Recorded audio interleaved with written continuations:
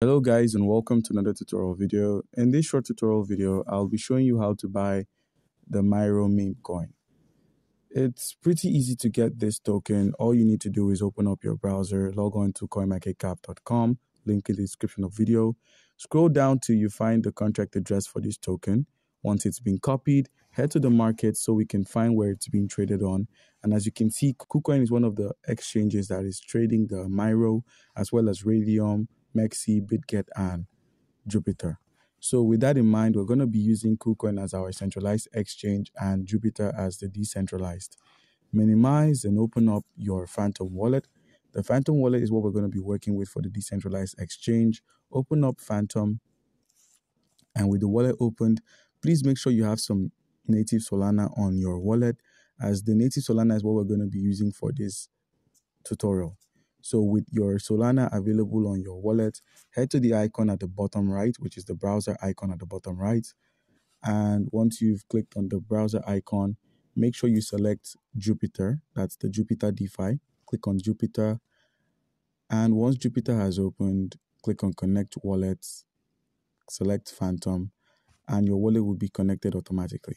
So guys, once you've connected your wallet, simply switch their places. That's take the Solana up as we're going to be buying the Myro coin using our Solana. So in place of USDC, click on USDC and simply search for Myro.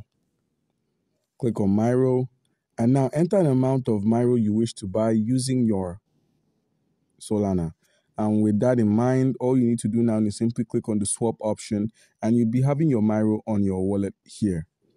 So guys, once that's done, another option of getting yourself some of the Myro is by getting it on a centralized exchange like KuCoin.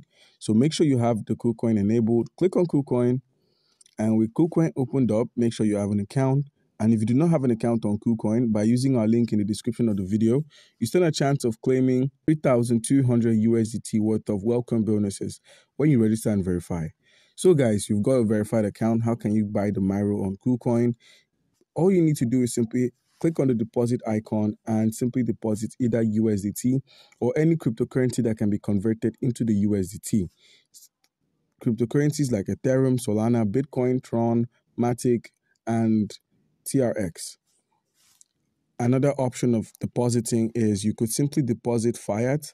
So if you click on the deposit option, click on fiat, you could easily deposit any of these fiat currencies based on your local region.